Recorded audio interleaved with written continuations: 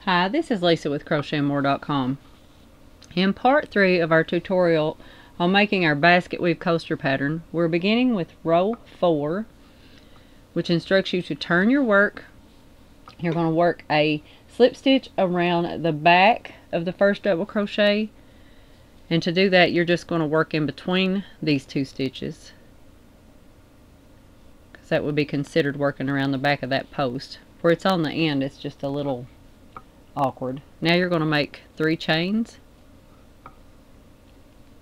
Now you work a back post double crochet around each front post. So these facing you are considered front post stitches. So you're going to work a back post double crochet around each of those two.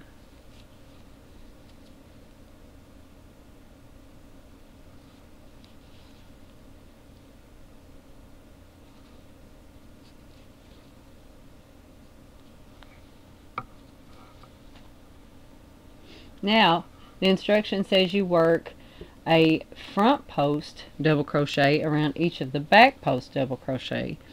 So the ones that are facing away from you or where you the stitches that come up out of the horizontal bar you can see that's raised those stitches you're going to work a front post so you're going to come over from the front side and work a front post double crochet around that back post double for each of those three back posts. You're going to have a front post around each. Now what this does this starts to really form the basket weave. Because you can see you have vertical stitches here then you have horizontal stitches and out of these horizontal stitches are coming the vertical stitches again and that makes it look like it's weaved. So the next three stitches are front post you're going to work a back post around each of those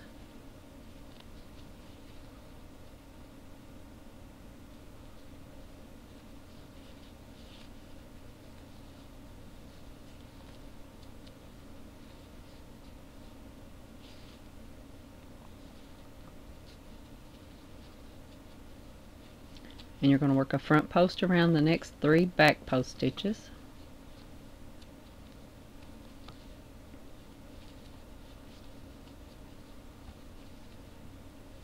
And a back post around the last three front post stitches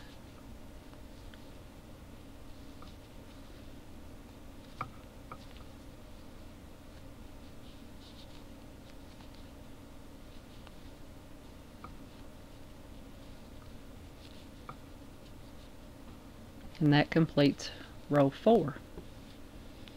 For row 5 you're going to repeat the exact same thing you did for row 3 so you're going to turn your work you're going to work a slip stitch around the front of that first stitch and you're going to make three chains.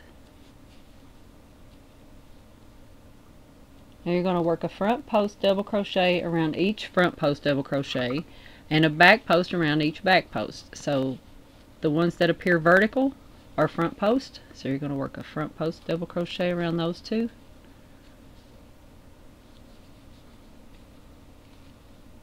A back post double crochet around the next three back post double crochet.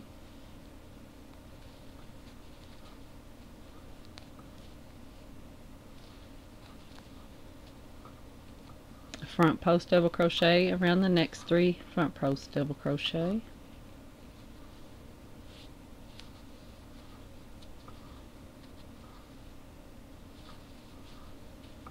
Back post double crochet around the next three back post double crochet.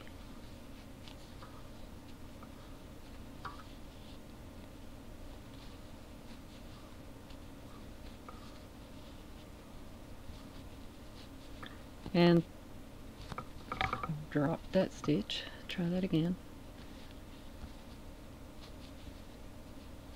Now the last three stitches you do a front post double crochet around each of those.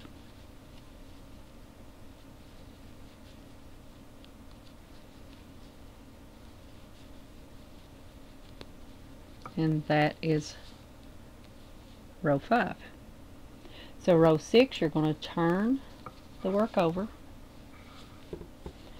you're going to work a slip stitch around the back of that first double crochet. So you go around and through and then chain three. Now you're going to work a back post double crochet around each back post double crochet and a front post double crochet around each front post double crochet. So the first two are back posts. So you're going to work a back post around each of those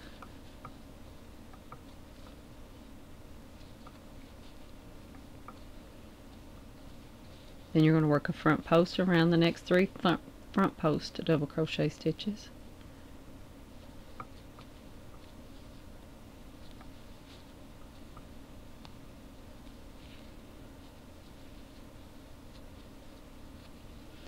Back post around the next three back post double crochet.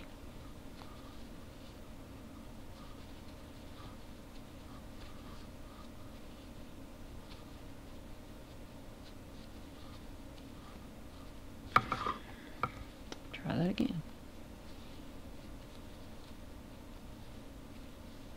And front post double crochet around the next three front post double crochet.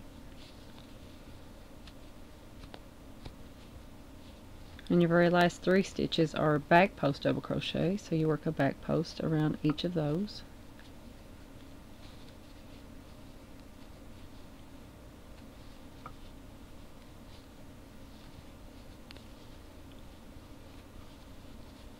and that completes row 6 so you can see the basket weave